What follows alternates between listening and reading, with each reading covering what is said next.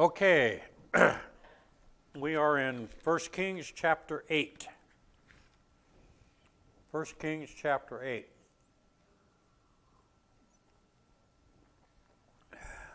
Solomon dedicates the elaborate new temple in Jerusalem. We good, David, on the sound? Yep. Okay. Let's pray.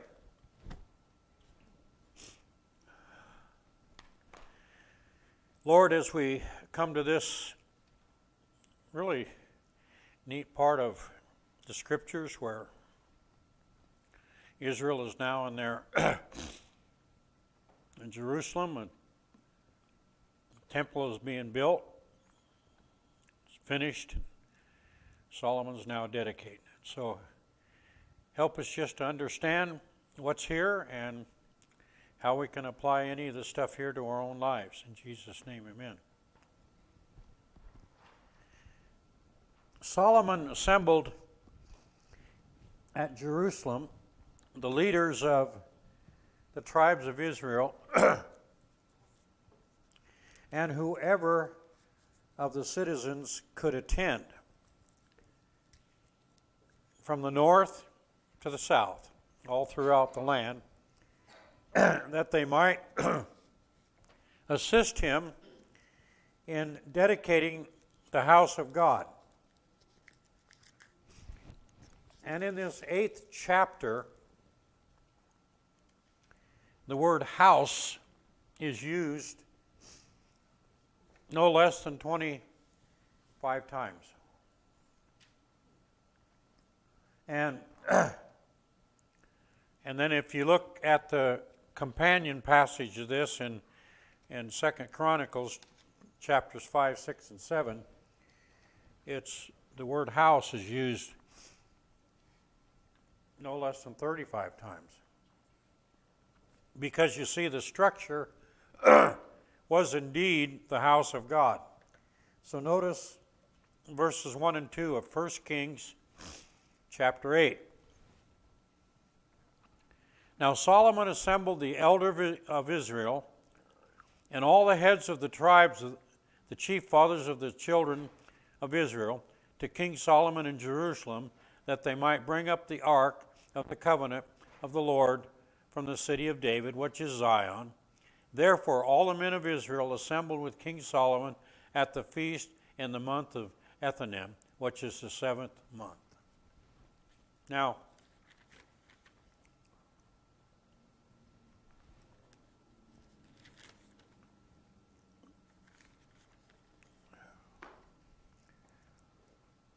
what made this uh, costly building the house of the Lord, we might add, or ask? Not simply that God commanded it to be built, which He did, and chose Solomon to build it, which He did, or that He gave the plans to David and provided the wealth to construct it, which He did. did. Those matters were very important but the thing that made this temple the house of the Lord was the presence of the Lord God Jehovah in the sanctuary. And that presence of God in the sanctuary was represented by what? The Ark of the Covenant. Or the Ark of God's presence. So the ark was brought in to the temple. Notice verses 3 and 4 of chapter 8. So all the elders of Israel came, and the priests took up the ark.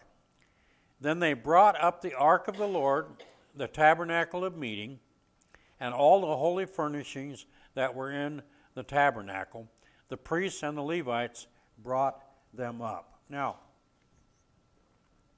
since the temple was completed in the eighth month of one year and not officially dedicated until the seventh month of the next year, it was empty and unused for that 11 months. Probably so that the, I mean, a couple very practical uh, things here, so that the dedication could, could coincide with the Feast of the Tabernacles, which we'll talk about a little bit later here. And so that the dedication could not only uh, coincide with the Feast of Tabernacle, but no doubt during this interim, I mean, you got a you got a brand new house, and so you you're putting the finishing touches were put on the new facility, and detailed preparations made for the elaborate dedication ceremony that they're going to have. Now, in the Holy of Holies was enthroned between the cherubim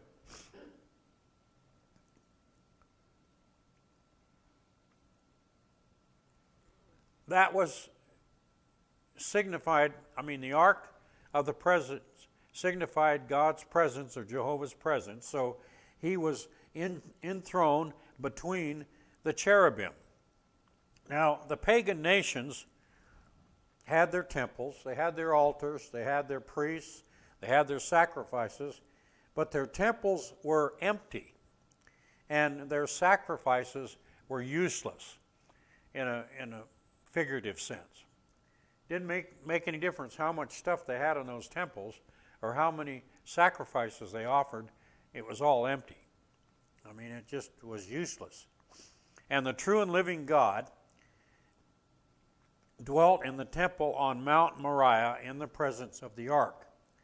And so that's why Solomon's first act of dedication was to have the Ark of the Covenant brought from the tent that David had pitched for it and placed into the inner sanctuary of the temple. Any questions or comments so far? We good? Now, the equipment and furnishings that were in the tabernacle in the wilderness were brought to the temple and were probably stored there. Kind of like a maybe museum pieces.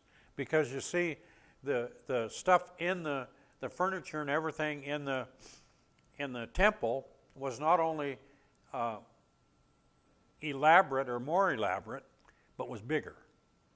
And so they, they brought that in, and probably the, the tent itself, the tent structure itself, was probably folded up, stored away in a, in a nice, safe place by way of remembrance. Yeah.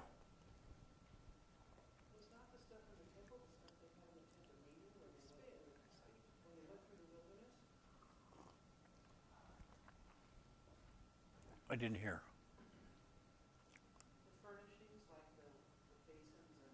Uh-huh. Yeah.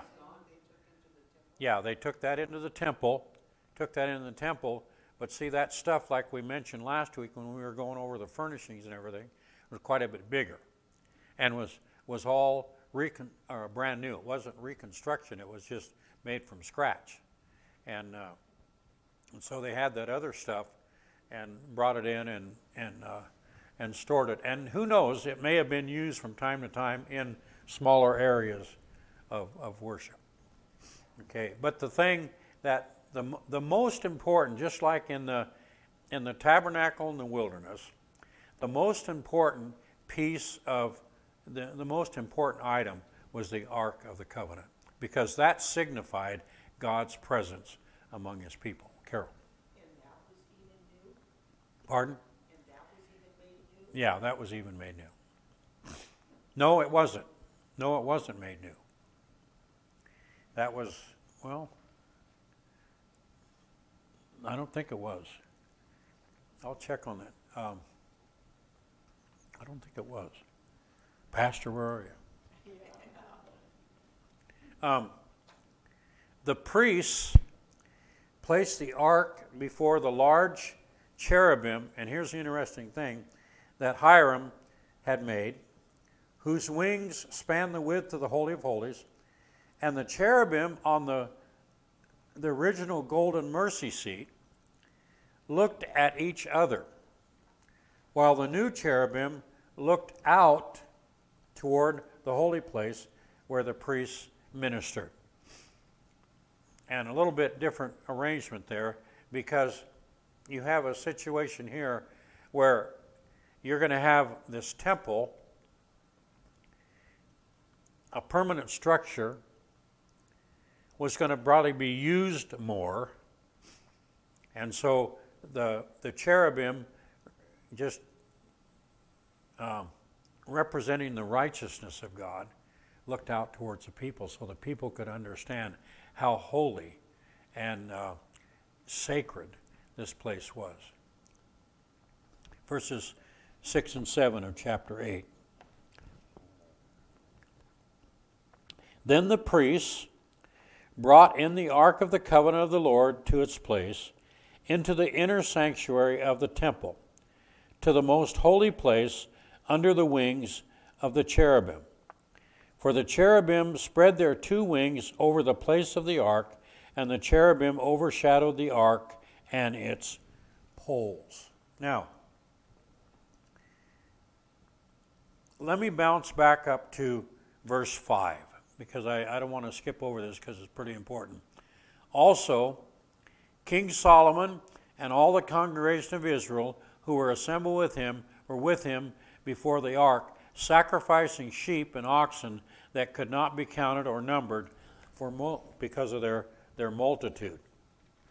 And so, the dedication of the temple, like I mentioned earlier, coincided with Israel's Feast of Tabernacles, or the Feast of Booths, B O O T H S. Now, hold your finger on uh, 1 Kings chapter 8 and turn back to Leviticus chapter 23.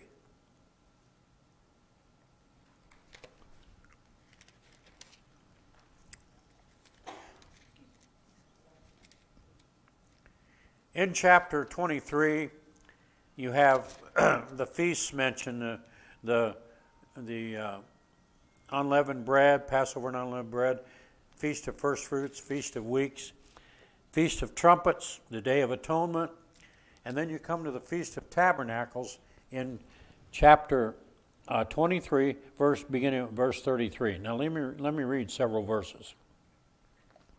Then the Lord spoke to Moses, saying, Speak to the children of Israel and say to them, The fifteenth day of this seventh month shall be the Feast of Tabernacles for seven days to the Lord.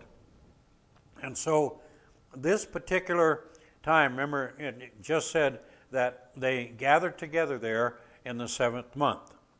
So this would coincide with this Feast of the Tabernacles. And on the first day, day there shall be a holy convocation. You shall do no customary work on it. For seven days you shall offer an offering made by fire to the Lord. On the eighth day you shall have a holy convocation and you shall offer an offering made by fire to the Lord. It is a sacred assembly, and you shall do no customary work on it. so, this is basically what they're doing at this particular time when they gather there and they offer the, the they make offerings and, and sacrifices. And these are the feasts, verse 37 these are the feasts of the Lord, which ye shall proclaim to be holy convocations. And now let's drop down to verse 39. Also on the fifteenth day of the seventh month, when you have gathered in the fruit of the land, you shall keep the feast of the Lord for seven days. On the first day there shall be a Sabbath rest, and on the eighth day a Sabbath rest. And this is this is the instructions. I'm reading this primarily by by way of background, and, and so you can understand about this Feast of Tabernacles in the, in the coincidence centered around that, the coinciding. And you shall take for yourselves on the first day the fruit of beautiful trees, branches of palm trees, the boughs of leafy trees, and willows of the brook, and you shall rejoice before the Lord your God for seven days.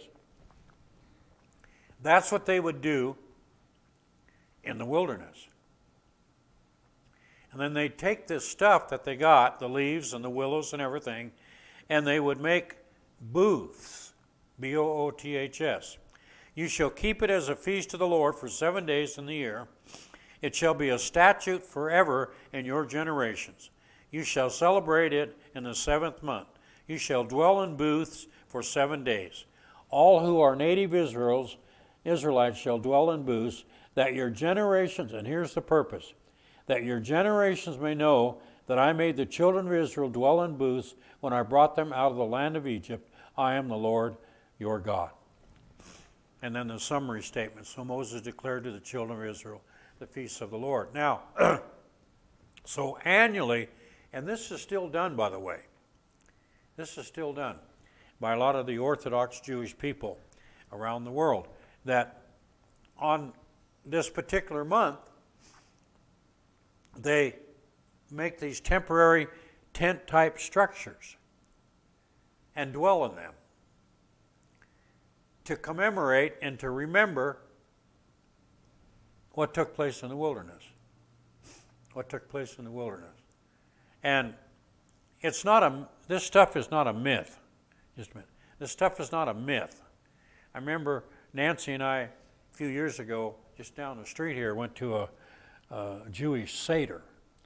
But it's nothing like the Seder that we do.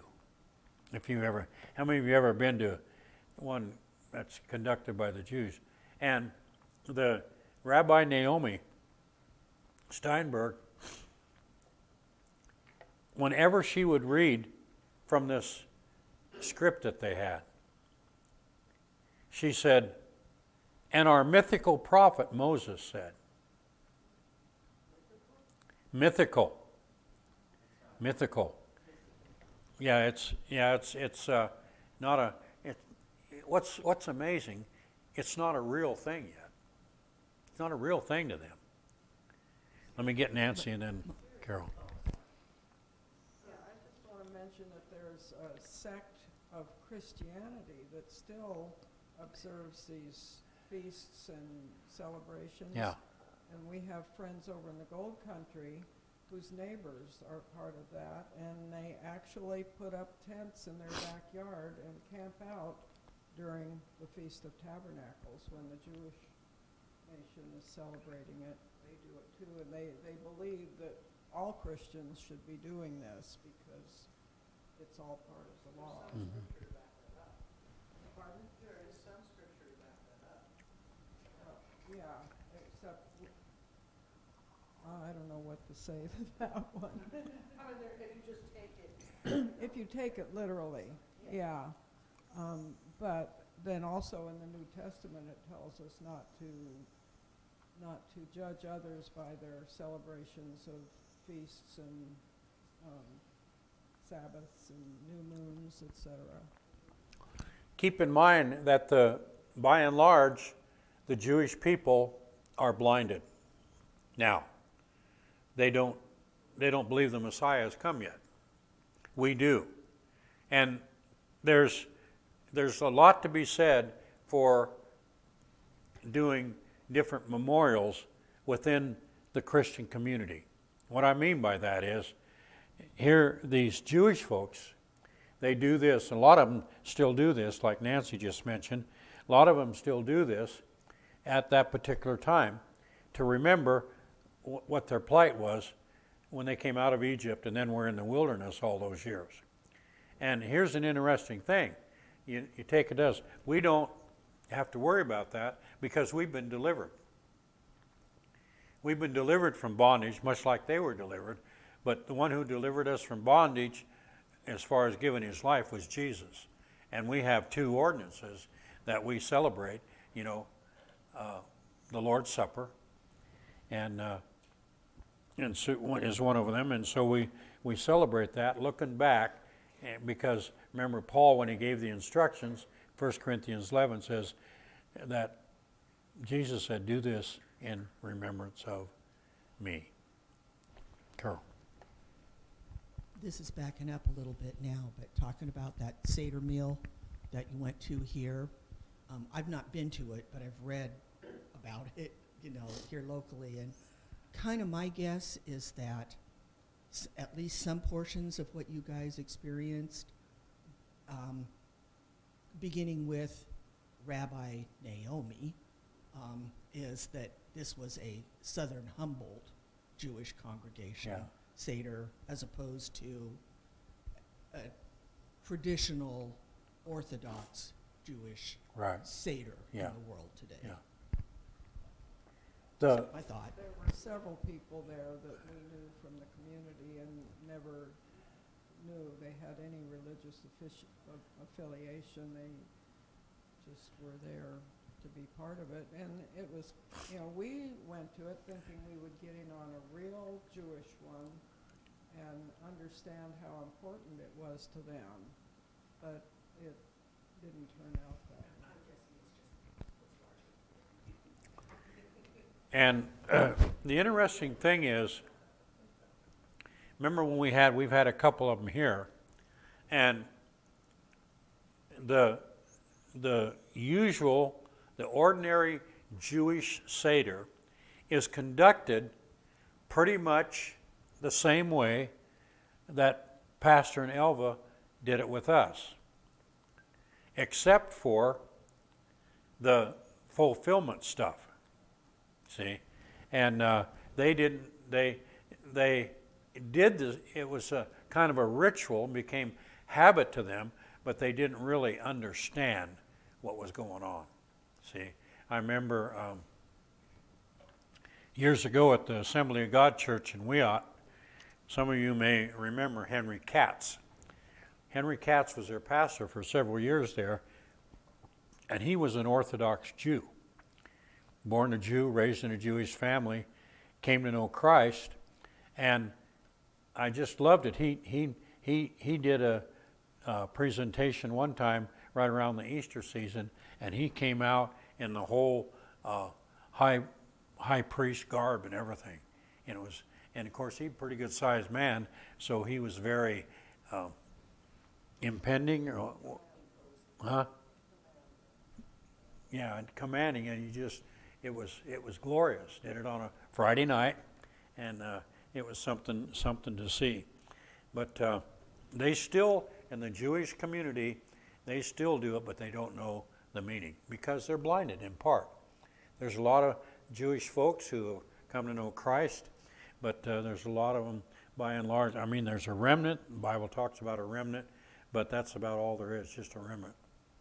And this was done when they came here on this particular day, the dedication of the temple, and offered the sacrifices and gave their offerings, this was done to remind the Israelites of God's provision in the wilderness while living in temporary tents and worshiping in a movable structure.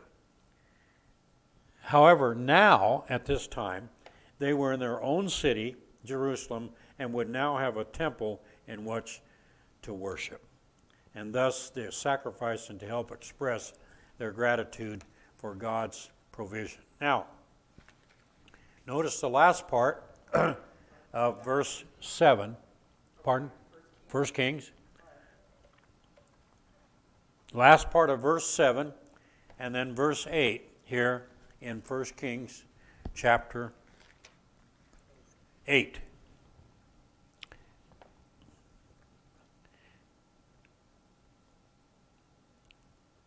Says, uh, all of verse 7 For the cherubim, sp- cherubim spread their two wings over the place of the ark, and the cherubim overshadowed the ark and its poles. Now, what were the purpose of the poles? There were ringlets, not only in the tabernacle or in the the um, Ark of the Covenant and, and the other furniture. What were the poles for? What's the answer? What's the answer? Because no one was allowed to directly touch. No one was allowed to touch it. What was the penalty for touching it? Death. Death. Death. And uh, so they put the poles in. You could see the poles, but you know they, they, they. The poles extended so that the ends of the poles could be seen from the holy place in front of the inner sanctuary, but they could not be seen from outside. So that were they were inside and contained, and the when they took down when they took down that, that tent of meeting, they, they would start and everything was folded down like the veil was over the Ark of the Covenant so they couldn't look on it. And then they could, uh, the poles were put in it and then they could carry it with the poles. So the poles extended so that the ends of the poles could be seen from the holy place in front of the in, inner sanctuary, but they could not be seen from outside. And so, just as God had prescribed, the priest carried the ark using long poles that passed through rings on its side. Okay? Verse 9 Nothing was in the ark except the two tablets of stone which Moses put there at Horeb, when the Lord made a covenant with the children of Israel when they came out of the land of Egypt. Now, one of the controversies centered around this particular verse has to do with what's mentioned in Hebrews chapter 9, right around verse 4, where it says, where it talks about the earthly sanctuary, and it talks about, says, and in this sanctuary was the ark. And under the mercy seat, there was what? There was Aaron's rod that budded, the tablets of stone, and what else? And the pot of manna. Okay. At this time, for some reason, and I'm going to share that what I what I feel, and I'm in in a good camp with a lot of folks. The pot of manna and Aaron's rod that budded were no longer in the ark. Okay? At one time, those were in the ark. Pot of manna and the staff of Aaron, and then both of which were reminders of rebellion. Okay? But the nation, nation of Israel, at this time now, was now making a new beginning. And God did not want to concentrate, I don't think, on the rebellion necessarily, and so those items weren't needed. The important thing was that Israel obey the law of God that was kept in the ark. Make sense?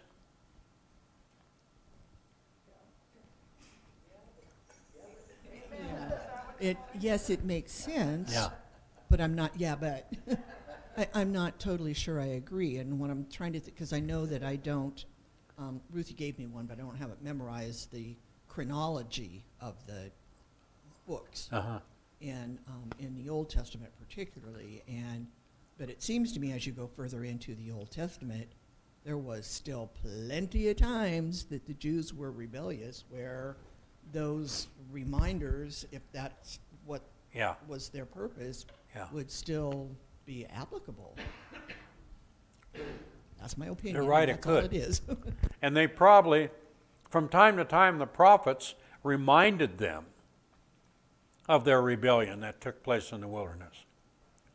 You know, as, as they would rebel after this time, would remind them that. But the, the main thing I think that God is wanting to emphasize here, and why just the tablets of stone were there, that the most important thing with this new beginning now, do away with the rebellion and concentrate on obeying what's contained in the law. I'm sorry, my curiosity just makes me have to ask this question. Who would have the authority to say, because even their high priests kind of rotated, right? Uh-huh. Who would have the authority to say, we don't need these parts anymore, we're removing them? Well, the, just the instructions from God. I just ponder because I think that's such a significant thing. Why was it not mentioned that God told him to take that out of there? It just it puzzles me. That's yeah, what. It, yeah. And I mean, he's like sometimes I he's said, all no, the details. no real reason, no real reason is given. No real reason is given, other than any any speculation. And I came across that thing that I shared about the rebellion and and God. You know, those weren't any. No, God didn't want to hang those around for for as a reminder of them. So. And I don't, and I don't know where I got this at. I didn't think anyone was allowed to look in the ark once God They weren't. sealed those things Yeah. in there. were. So that's what gets my curiosity, Yeah. Carol, gets my curiosity going, when did those things come out? Who had the, who Yeah. had the authority? I mean, Yeah. obviously God does, but I just, I'm surprised that anybody would even be brave enough to open it and take those things out. Yeah, yeah. I'll do some more research on that. Yeah, yeah. So now, once Solomon and the people had honored God, had placed his throne in the Holy of Holies in the temple, the glory of the Lord, represented by the cloud, filled the temple. Notice verse, verses 10 and 11. And it came to pass when the priest came out of the holy place. Now, it doesn't t- say how long a period this was. It probably took a long time because the offerings and the sacrifices were given, and, and, it, and it said up there that you couldn't, uh, you couldn't number everything, everybody that showed up. So it came to pass after that, when the priest came out of the holy place, that the cloud filled the house of the Lord, so that the priest could not continue ministering because of the cloud. For the glory of the Lord filled the house of the Lord. Hmm. Pardon? Oh, I know. I was thinking about that uh, this week as I went over some of this stuff. That just this cloud that just hovered over there filled the temple to the point where the priests could not even see what to do. See? That's the, the result. That's the result of people honoring God and presenting themselves holy to the Lord is his his glory just fills the place. See? What? Now you're gonna make us cry. Yep. See? That's what I want to see. I don't necessarily want to see a large, huge congregation. It'd be nifty if we could have every seat full and then some in this place. But whether we have as many as we have here today or the place full, what I want to what I want to feel is the presence of the Lord. Okay?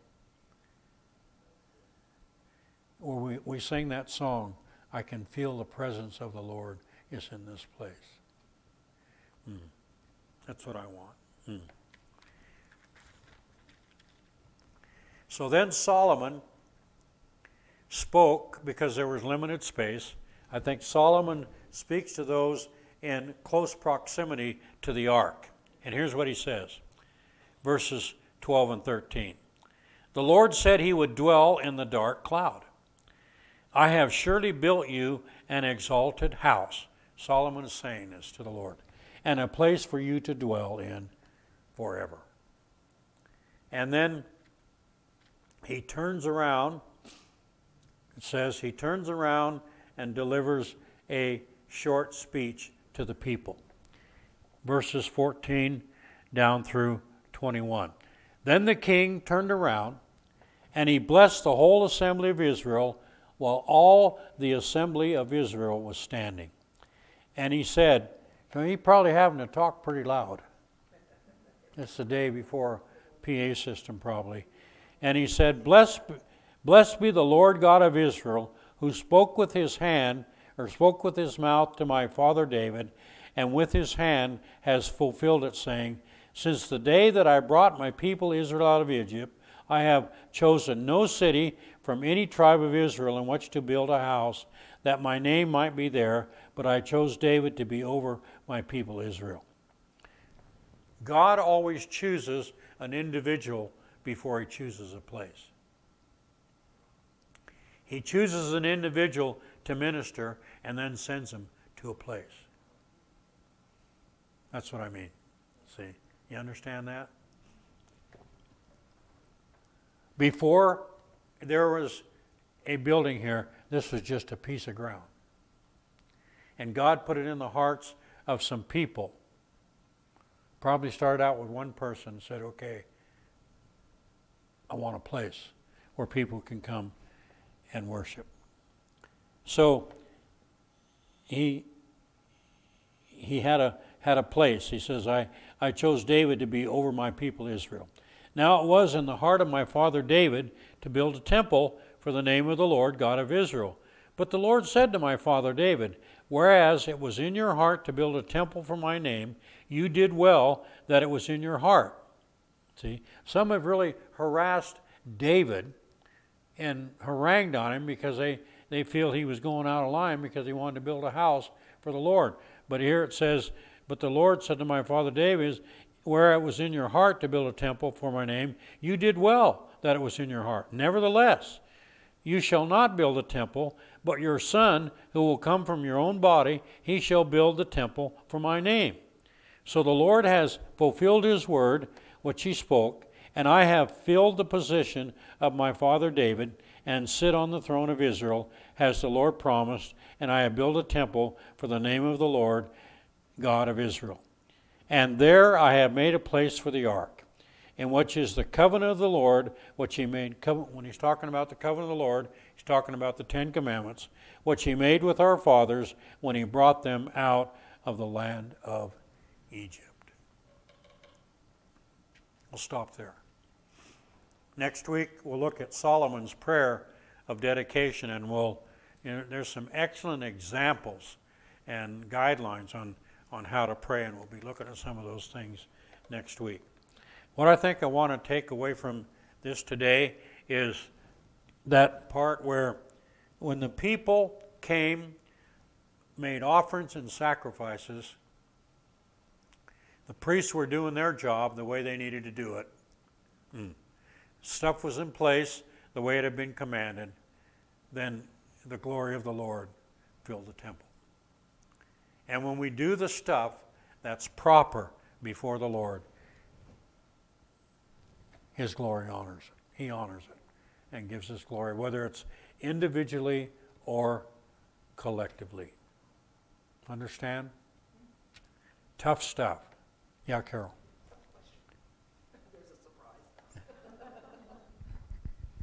So when I think of God coming and filling the temple with the cloud, I always think of that being a white cloud, if you will, like super dense fog. Yeah. Um, and we have a physical phenomenon that happens at our house because of where we live right at the top of the river canyon, and I can I can just picture it, you know. Uh, But there was saying it was a dark cloud. Dark cloud says the same which thing are like storm clouds. I just, Yeah. you know, the light and dark and how that's always. I just find that surprising. I think it was a way of of God hiding his presence. Hiding, displaying his presence with the cloud, but yet hiding himself Because we can't look so the people couldn't see. Yeah, yeah, and uh, and because it says um, the priests, the priests came out out of there because they couldn't continue ministering because of the cloud. They couldn't see what they're doing. See, couldn't see what they're doing. See, and a lot of times we want to see what we're doing. See? We want to we want to see something visible. We are people who need to see stuff visibly. And if we have our sight. And we just want to see some stuff. But a lot of times God just likes to work behind the scenes. And then all of a sudden, you know, we we feel rather than seeing his presence, we need to feel his presence. We need to feel his presence. What pardon? And trust his presence. Trust his presence. Okay? So that's that. This morning, in the 11 o'clock time slot, going to be talking about Abraham's failure of faith. Abraham's failure of faith. Okay, so stay tuned and we'll get to that in a little bit. Thank you, Lord, for this lesson. Help us to be instructed on what we need to do so that your glory takes over in our lives. In Jesus' name, amen.